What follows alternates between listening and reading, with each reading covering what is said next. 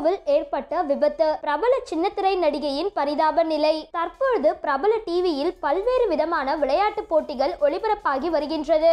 அவ்வாறு பிரபல டிவியில் ஒளிபரப்பாகும் கேம் ஷோ தான் சூப்பர் மாம். இந்த ஷோவில் முதல் சீசன் முடிந்த நிலையில் தற்பொழுது இரண்டாவது சீசன் ஒளிபரப்பாகி இறுதி கட்டத்தினை எட்டியுள்ளது.